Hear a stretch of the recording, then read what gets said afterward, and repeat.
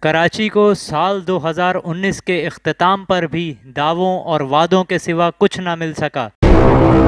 Video دیکھنے سے پہلے ہمارا چینل سبسکرائب کریں اور بیل آئیکن پر کلک کریں۔ اگر ہماری ویڈیو پسند آئے تو لائک، کمنٹ اور شیئر ضرور کریں۔ سال دو ہزار انیس بھی تقریباً اب اختتام کے قریب ہے، لیکن ملک کو ستر فیصد سے زائد آمدنی فراہم کرنے والا شہر کراچی گزشتہ کئی اشروں کی طرح آج بھی بنیادی سہولتوں سے محروم ہے۔ اس اشرے میں کئی سیاسی اور قانونی تبدیلیاں ہوئیں۔ کوٹا سسٹم میں توسیع ہونے کی وجہ سے دیہی اور شہری فرق مزید گہرا ہوا، جو شہر کے نوجوان طبقے میں بے روزگاری و احساس محرومی کا سبب بن رہا ہے۔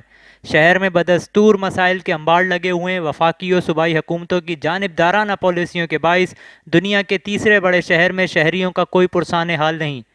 کوئی ایک مسئلہ مکمل طور پر حل نہیں ہو سکا ہے۔ شہر میں بدستور، کچرے کے ڈھیر قائم ہیں۔ پبلک ٹرانسپورٹ کی کمی ہے۔ ٹوٹی پھوٹی سڑکیں ہیں۔ پانی کا بدترین بحران ہے۔ تباہ حال، سیورے سسٹم اور کمزور ترین بلدیاتی نظام کے باعث یہ شہر نشان عبرت بنا ہوا ہے۔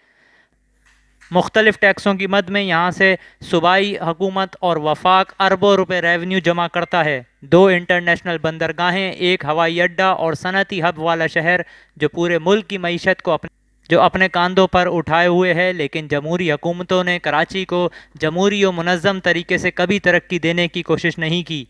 نہ تو اس کی صحیح آبادی کبھی ظاہر کی گئی اور نہ ہی اس شہر کے بنیادی مسائل حل کیے گئے۔ وفاقی حکومت کے تحت دو ہزار سترہ میں ہونے والی مردم شماری میں کراچی کی آبادی صرف ایک کروڑ ساٹھ لاکھ ظاہر کی گئی، جس میں کراچی کی شہری آبادی ایک کروڑ پچاس لاکھ اور کراچی کی دیہی آبادی دس لاکھ تسلیم کی گئی ہے، جبکہ آزاد ذرائع کے مطابق کراچی کی آبادی تین کروڑ سے زائد ہے۔ اسی اشرے میں کراچی کے ساتھ مزید زیادتی کی گئی اور جمہوریت کی نرسری بلدیاتی اداروں سے وہ اختیارات بھی چھین لیے گئے جو انگریزوں کے دور میں تفویض کیے گئے تھے۔ یہ انوکھا کام سندھ کی جمہوری حکومت نے سندھ لوکل گورنمنٹ ایکٹ دو ہزار تیرہ کے تحت کیا۔ کراچی کے ساتھ ایک بڑی بدقسمتی یہ بھی ہے کہ سندھ میں پیپلز پارٹی کی حکمرانی ہے اور بلدیاتی اداروں میں ایم کیو ایم سب سے بڑی جماعت ہے، جبکہ وفاق میں تحریک انصاف ہے۔ اگرچہ کہ ایم کیو ایم اور تحریک انصاف حلیف جماعتیں ہیں، لیکن سندھ اسمبلی میں دونوں جماعتیں حزب اختلاف سے تعلق رکھتی ہیں۔ اور صوبائی اسمبلی میں اتنی اکثریت نہیں رکھتی کہ بلدیاتی اداروں کو باختیار بنانے کے لیے سندھ اسمبلی میں قانونی ترمیم کے ذریعے کوئی کردار ادا کر سکیں۔ کراچی میں سیاسی و انتظامی ادارے منقسم ہیں، لہٰذا جو تعمیراتی کام ہو رہے ہیں وہ ایک چھتری تلے نہیں ہو رہے ہیں، جس کا ویژن پرویز مشرف نے شہری حکومت کی شکل میں دیا تھا، جس کے تحت تمام اداروں کا ایک سربراہ ناظم کراچی تھا، جس نے تمام شہری اداروں کو ایک پیچ پر لا کر بڑی حد تک مسائل حل کیے تھے۔ اس کے برعکس موجودہ انتظامی سیٹ اپ نے مسائل میں کمی کے بجائے اس میں مزید اضافہ کر دیا ہے۔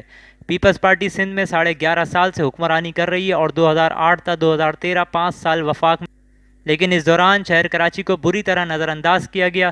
سندھ حکومت نے نیا لوکل گورنمنٹ ایکٹ دو ہزار تیرہ میں منظور کیا، جس میں بلدیاتی اداروں کو قانونی طور پر انتہائی کمزور کر دیا گیا۔ تاہم، اس کے باوجود سندھ حکومت بلدیاتی انتخابات کے انعقاد سے پہلو تہی کرتی رہی۔ اور بالآخر سپریم کورٹ کی ہدایت پر دو ہزار سولہ میں سندھ حکومت نے بلدیاتی انتخابات منعقد کرائے۔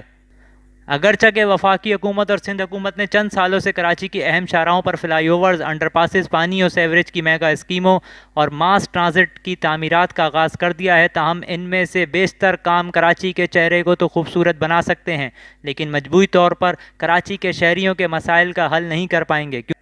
کیونکہ اندرون شہر اس طرح کھنڈرات میں تبدیل ہو چکا ہے کہ گاؤں گوٹ کا منظر پیش کر رہا ہے۔ بظاہر اربوں روپوں کا انفراسٹرکچر تعمیر ہو رہا ہے، لیکن ان ترقیاتی کاموں میں اس قدر تاخیر و سست روی بڑھتی جا رہی ہے کہ کراچی والوں کی چیخیں نکل گئی ہیں۔ اس کی سب سے بڑی اور سادہ سی وجہ کمزور ترین بلدیاتی نظام ہے۔